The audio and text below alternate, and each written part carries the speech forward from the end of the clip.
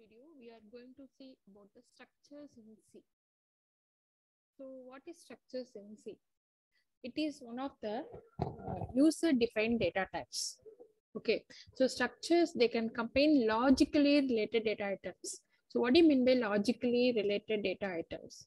If you say integer, it is purely integer. If you say floating, it's a different. But logically related means if you take a record, so for example, employee details. In an employee details, what are all the things that can be related with an employee? His uh, employee ID, then his name, then his PF number or his salary details, all those things, even if they are uh, of different data types, but they are logically related. Okay, it is of a particular employee. An employee must have all these details. That's what mean by logically related data. If you take a student, student data can be logically related. How his roll number, his name, in which class he is studying, which branch he is studying, what is the semester mark, what are the each paper, all those things are logically related to him. Okay, that is what said by logically related. So you can define them as a whole. Okay, it like a record. So that's what structures they can combine logically related data items into a single unit. The data items enclosed within a structure are known as members. So when you define a structure and you define, so for example, structure of a student means within the student, you write roll number, branch, all those things. Then that roll number branch becomes the member of the student. Okay. And each can be of different data types. Yes, the name is a string type. Roll number is an integer type. Marks are floating type. Like that, all those things you can combine and make it as one data type. So structures can be viewed as a heterogeneous user-defined data type then what is meant by another one? If this is heterogeneous, what is the another one? Array is a homogeneous data type where it can store only one data type. Say, for example, if you say x of 10 and int, all the values in x array, they are of the same type. Okay, if you declare float y of 20 means all the values in y, y1, y2, y3, everything can hold only floating data types. Whereas structure you can store different data. You, you can store a floating point, you can store an integer, you can store a string value, all those things. So for example, here, you can say, here you can store a character, that is string uh, character array. Then uh, integer, it is an age is an integer. A branch is a character, again it's a array of uh, character, that is string. Then gender, one single character. Like that you can store.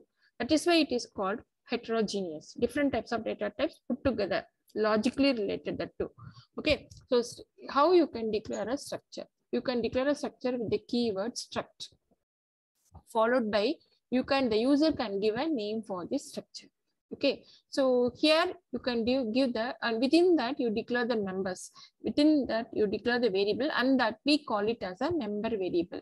Then you give the uh, variable because this is a name of the structure.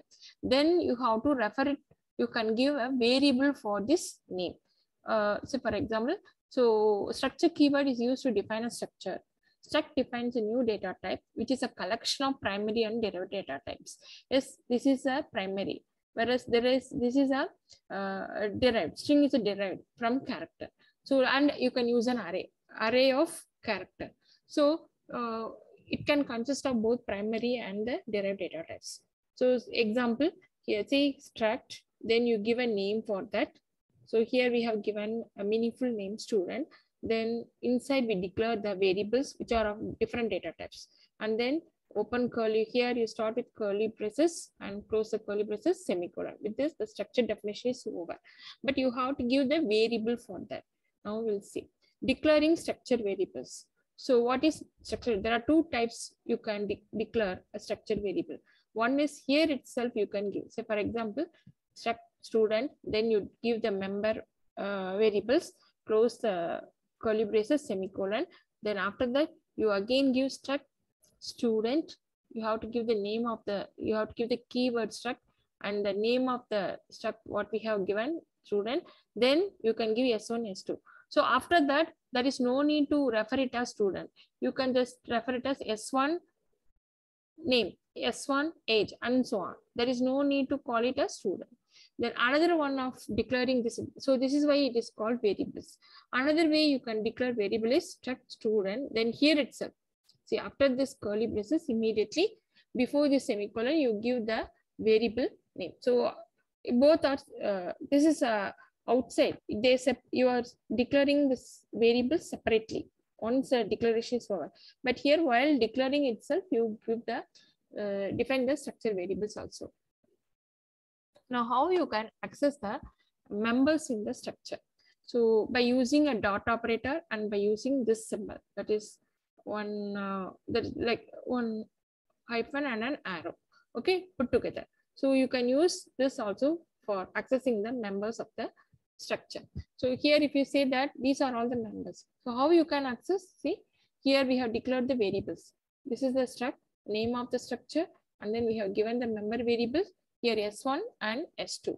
Now, how you can access these them by using S1, that is the variable name dot inside the member variable name dot S1 dot age, S1 dot branch, S1 dot gender. Same way here, S2 dot name, S2 dot age, S2 dot branch, S2 dot. So these two will be considered different. This S1 is a separate structure, structure variable which is of type student and S2 is another structure variable which is of type student. So by declaring one structure, you can have uh, declare two variables and each one can consist of different uh, uh, different record. Okay. Now we'll see a small example in Geany. See here. Now let me run this program. So first I'll explain this program. See, this is mainly for just uh, just to show you the how a structure works and how you can access a member of the structure. Here we have given all these things studio.h and string.h, then struct student. Here we have defined the so this has to be defined outside the main function. Okay, so struct student, we have given a name for this, and then inside we have defined the uh, data types, different data types. There is a roll number, is integer, name is a string, which is of the character array, then branch, is again a string, which is of character array, then marks, it is an integer. Okay, then close the bracket. Uh, close the curly braces and then semicolon. So inside we are going to give the variable name, like the first one. Okay, uh, here, like this. So now struct student. You can give S1 here also, but we are using this style. Okay, then after the main declaration, we uh, declare the struct variable, struct student, then S1. Here after we refer only S1, not student. Okay, now printf enter the student number. We want the data for this. So enter the student roll number. So how you can access scanf percentage because it is an integer. Then ampersand S1 dot roll number. This is how you access the member function by using this s1 dot. Same way you get the value for name s1 dot name and then s1 dot branch and s1 dot marks. Now how you can print the same way again. So the details of the student is printed roll number percentage s1 dot roll number s1 dot name dot branch and dot marks. Now I just uh, I'll execute this. See here, it will get the it will get it will ask for the values.